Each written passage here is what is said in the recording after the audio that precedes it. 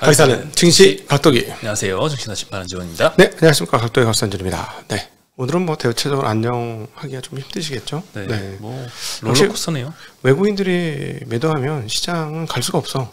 이 시장은. 그뭐 강력한 조치가 별로 없는 것 같아요. 그러니까 개인들 매수가 꽤 많이 됐음에도 불구하고 주가가 물론 이제 떨어지는 거 사서 줍줍 했기 때문에 그렇긴 하지만 역시나 단일 세력으로서의 외국인들의 어떤 시장에 미친 영향력은 굉장히 크, 크다 라고 볼 수 있겠네요. 네. 네. 그리고 오늘 일본이 17년 만에 네. 금리를 올렸더라고요. 어 제가 내기를 했잖아요. 이거 질 것 같아서 내기 하자마자 다음 날부터 질 것 같았는데 내일 같이 오십시오. 우리 권슈 내기 점심 맛있는 거 쏘신다고요? 네, 맛있는 거. 의외의 횡재네요, 저는. 뭐 그런 날도 있어요. 금리를 안 올린다에 거신 거죠? 네, 안 올린다에 걸었어요. 근데 딱 하루 지나니까 아, 아니다 이거 마이너스는 처리하겠다 네, 싶더라고요. 뭐 이런 이런 기회에 뭐 한번 밥도 사고 하는 거죠. 네. 네. 일본 중앙은행이 마이너스 금리를 탈피했습니다. 네. 2010년부터 2016년까지는 제로 금리였고요. 음. 그 이후부터 지금까지는 마이너스 0.1% 유지를 해봤는데 네. 오늘 단기 정책 금리를 0에서 0.1% 범위로 좀 상향을 시켰습니다. 네. 네, 뭐 선반영된 게 있는 것 같아요. 금리 인상 직후에 오히려 엔화가 약세로 갔습니다. 엔 달러율이 149엔 정도였는데 150을 돌파를 했습니다. 네, 그러니까 이게 웃기는 거야. 이제 끝이라는 거지 이게. 끝이 아니고 금리를 더 올릴 수 있다고 생각한다면 다른 나라처럼 정책 금리가 정상화된다고 생각하면 어 무서워서 어떻게 환을 올리겠어 어, 말이 안 되는 거죠. 네. 네. 그리고 일본은행은 이제 그동안 물가 상승과 임금 상- 상승 간의 선순환 구조가 확인되어야 이 마이너스 금리를 종료한다라고 언급을 했었는데 네. 둘다 확인이 됐습니다. 일본 CPI가 작년에 3.1%로 42년 만에 최고치 기록했고 네. 지난주 발표된 임금 상승률도 5.3% 나왔습니다. 33년 만에 5% 돌파하면서 이제 뭐 마이너스 금리 종료 기준을 달성했다고 판단하는 것 같습니다. 네. 네, 그리고 뭐 달러 지수도 강세로 가더라고요. 미국의 좀 기준금리도 뭐 골드만삭스에서 네 번 내릴 거 이제 세 번 내릴 것 같다 이렇게 전망을 더 하회하고 네. 기, 시기도 금리 인하 시기도 뭐 6월에서 7월로 자꾸 밀려나고 이런 영향 때, 때문에 또 엔화가 이렇게 움직이지 않았나 싶습니다. 얘네가 그럼 강세로 갔어야지. 달러가 강세로 간 거죠. 금리를 네. 예, 기준금리를 안 인하하려는 예, 기대가 조금 약화되다 보니까 그러네 맞네. 달러가 네. 강세로 가면서 맞네요. 엔화가 조금 약세로 갔습니다. 네. 모두가 지금 그 일본 여행 갈 사람들이 주변에 많은데 신났어? 아, 엔화 환전을 미리 막 이거 금리 올리기 전에 해놓고 어. 이렇게 막 그렇지. 어, 할수 있지. 왜냐하면 당연히 이제 금리가 올라간다고 하면 엔화가 강세니까. 올라갈 거다 생각하고 저도 네. 이제 일본 여행을 이제 올해 갈 거거든요. 그래서 한 100만 원이라도 환전을 해놔야 되나 싶었는데 음. 네. 그냥 안 했거든요. 음. 근데 오 반대로 움직이네요. 아니, 그, 아, 그 금고라는 게 있어요. 뭐 신한은행 같은 데 보면 금고가 있어서 그 떨어질 때마다 뭐 예를 들어 10만 원씩 막 이렇게 바꿔서 이렇게 저장해 놓을 수 있어요. 아, 그거 한번- 때마다 예, 은행에 그런 제도가 있더라고. 금고라는 게 음. 있어 가지고 환전 금고 그거를 사 놓는 거야. 그러니까 저는 880원 때마다 10만 원씩 사 놓는 거예요. 그렇게 그런 식으로 하는 거 괜찮습니다. 그렇군요. 네, 음, 여행 가실 분들은 참고하시라고. 네, 근데 금리는 안 주죠 거기서. 없지. 네. 네.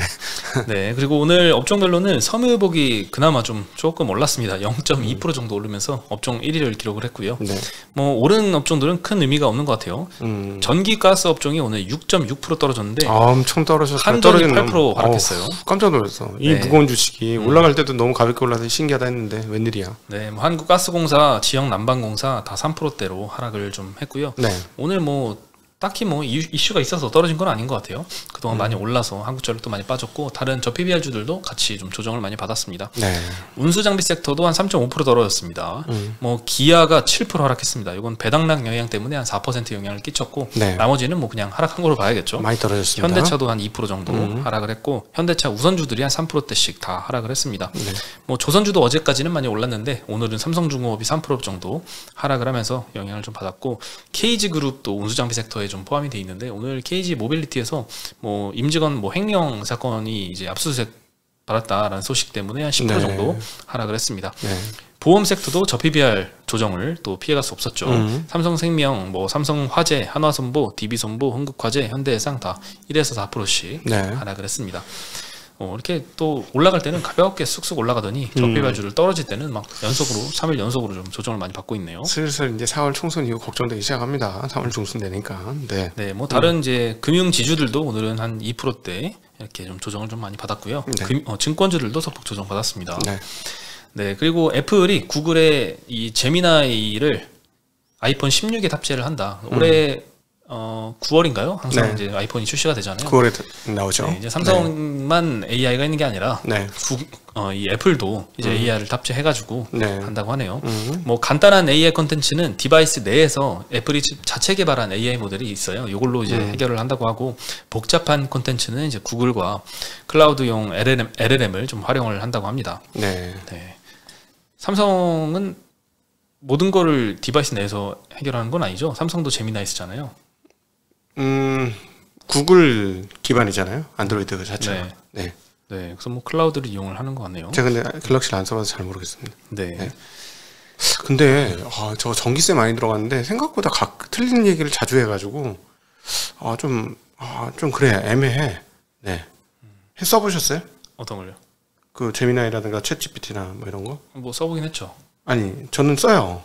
왜냐면 평소에? 원고, 작성할 때도 어, 이렇게 알아봐요. 저희 역사가 궁금한 거 이런 거 있을 때는 역사는 진짜 정확하게 대답해 딴 건 몰라도 과거에 이런 건 어떻게 됐니? 제가 한번 물어봤던 게 미국 어 뭐야 유럽에서 미국으로 자동차 패권이 넘어오는 그 과정 1900년대부터 중반까지 미국의 자동차 역사를 알려줘. 뭐 이, 이걸 이제 몇 번에 걸쳐서 물어봤어요.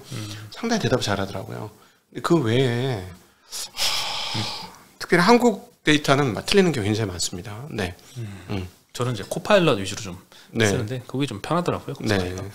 그리고 한국의 이제 대표적인 AI 업체들 네이버랑 카카오가 계속 좀 부진합니다. 음. 오늘도 카카오는 한 2% 떨어졌고요. 네이버는 최근에 워낙 많이 좀 떨어졌어요. 근데 음. NH증권에서 이제 조사한 결과 이 NH증권 그 HTS를 통해서 거래한 사람들만 네. 조사했겠죠.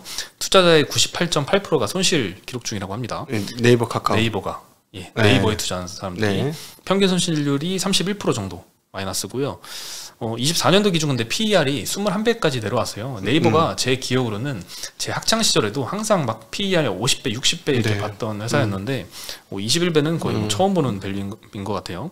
올해 그 누적으로 제일 많이 이제 개인들이 순매수한 게 1위가 삼성전자고요. 네. 2위가 네이버입니다. 어, 올해요? 1조 3천억치 매수했어요. 어, 어, 네.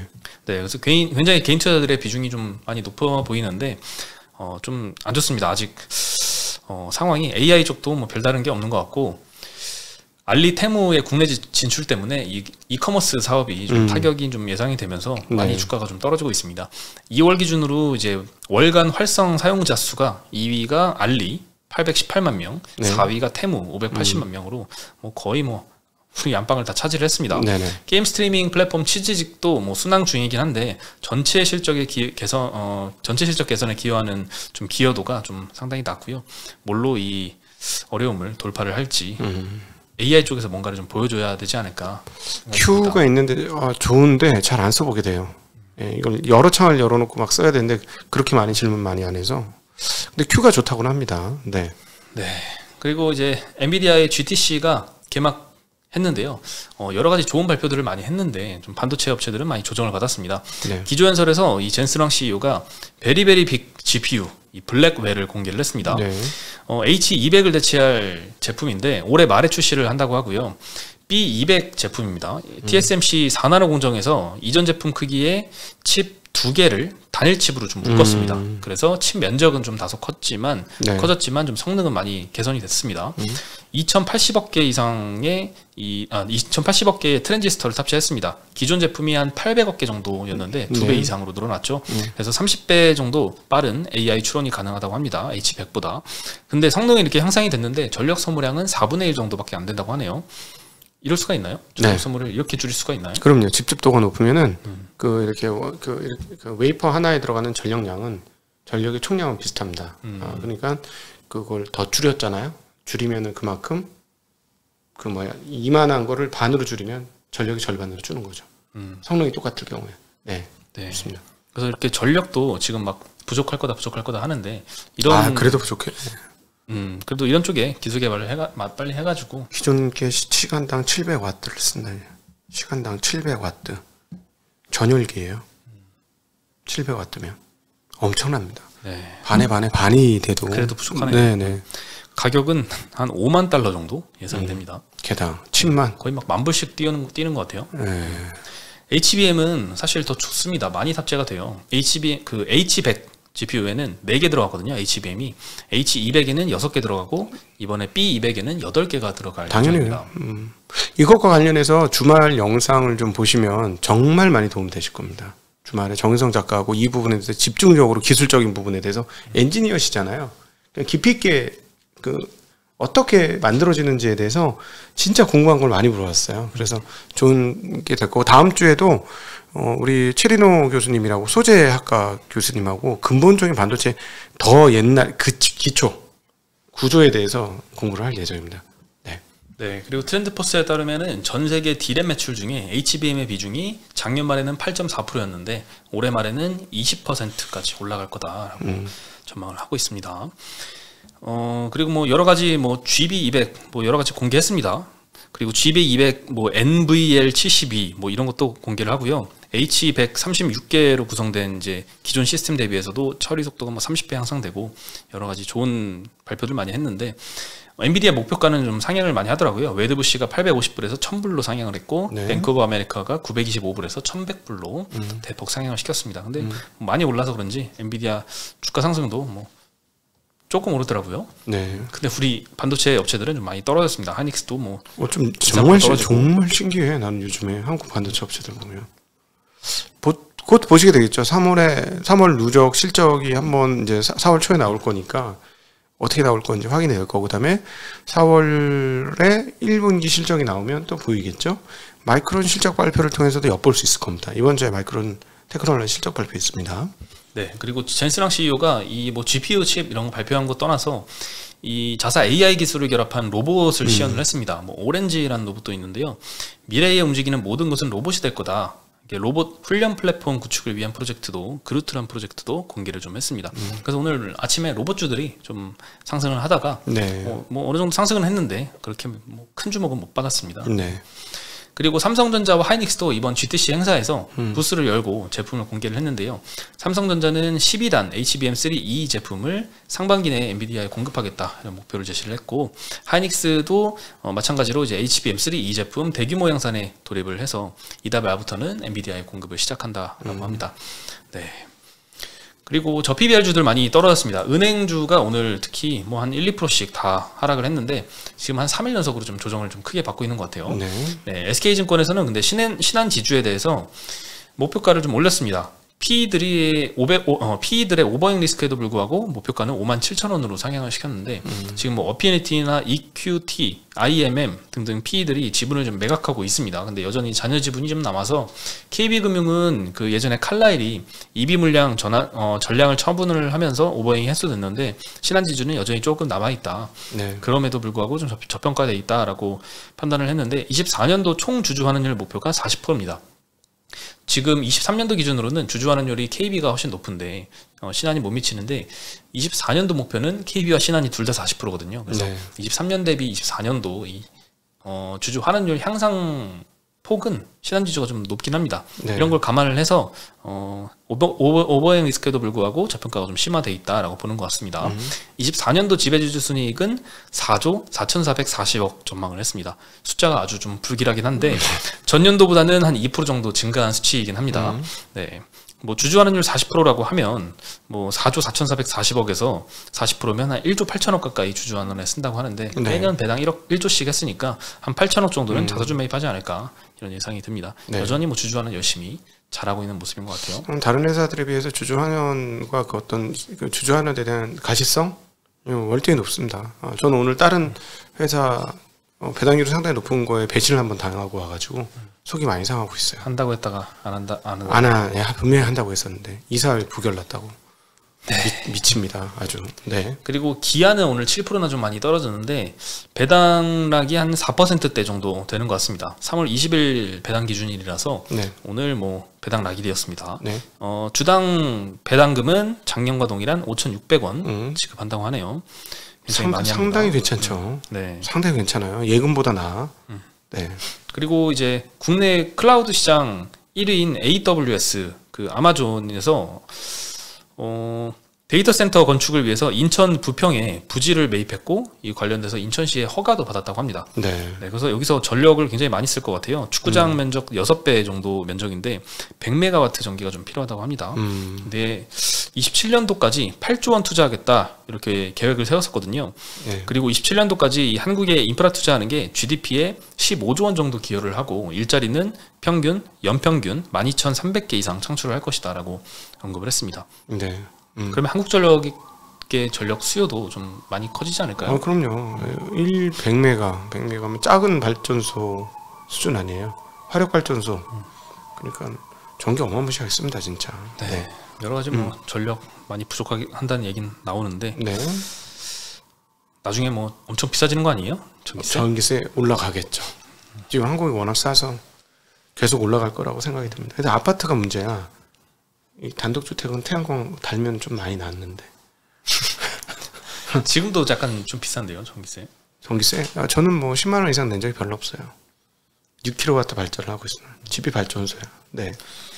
네. 그리고 뭐 KG 모빌리티 대표가 이제 횡령 때문에 압수수색 당했다 이런 소식 아까 말씀드렸는데요. 대표하고 임직원들도 있나 봐요. 횡령 혐의로 조사 중이라고 하고 이게 좀 최근에 일어난 사건은 아닙니다. 예전에 예전에 2016년에서 한 18년쯤에 쌍용차 임원으로 그 재직하던 당시에 발생한 내용이라고 하고 회사 측에 따르면 기업 회생 절차로 채무 관계가 정리됐기 때문에 지금 회사로서는 본 사건과 무관하다 이런 언급을 했지만 그래도 주가는 떨어졌습니다. 네. 아무래도 이제 횡령 사건이 발생하면 뭐 자기 자본 대비 얼마 비중이냐에 따라서 네. 이게 뭐 거래가 정지되고 상장 폐지로 갈 수도 있고 이런 우려가 있다 보니까 아직 뭐 불확실성이 크다고 판단한 것 같습니다. 음. KG 모빌리티도 10% 빠, 빠졌고요. 어, 모, 어, 대주주인 KG ETS도 5% 빠졌고 그 그의 대주주인 KG 케미칼도 5% 빠졌고 어, 계열사인 KG 이니시스 또한 2%대 하락을 했습니다. 네. 계열사들이 전부 다, 다 하락을 했네요. 어, 참. 참. 네, 이거 참 이러 이러면 회사 인수하는 사- 입장에서 너무 골 때릴 것 같긴 합니다. 그렇죠. 그렇죠. 오늘 소식은 여기까지고요. 네. 내일 다시 인사드리겠습니다. 네, 안녕.